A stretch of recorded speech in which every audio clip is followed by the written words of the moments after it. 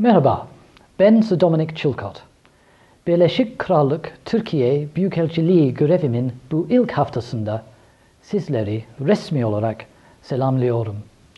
Cumhurbaşkanı Sayın Recep Tayyip Erdoğan'a güven mektubumu 16 Ocak Salı günü sunmaktan onur duydum. Bu bir Britanyalı diplomat olarak Türkiye'ye ilk gelişim değil.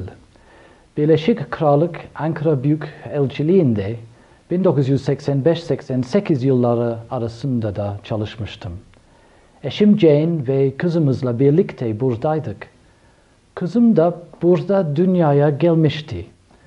O zamandan beri Jane'in ve benim kalplerimizde Türkiye'nin ayrı bir yeri vardı. Elbette o zamandan bu yana dünya çok değişti. Türkiye'de öyle.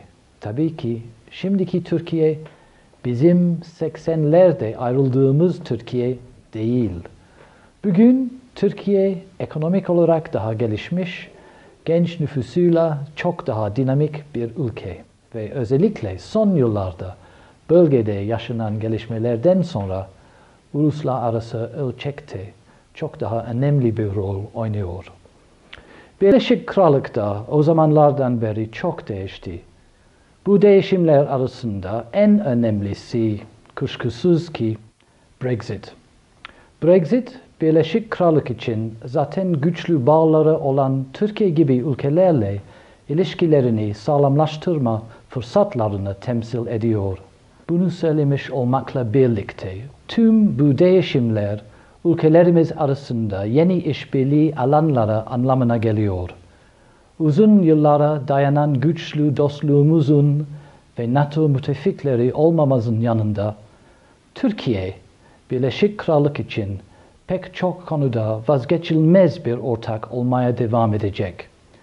Hem Türkiye hem de Birleşik Krallık maalesef ciddi terör olaylarından payını fazlasıyla aldı. Bu nedenle benim nacizane görüşüme göre ülkelerimiz arasındaki yakın ve güçlü stratejik ortaklık hayati önem taşıyor.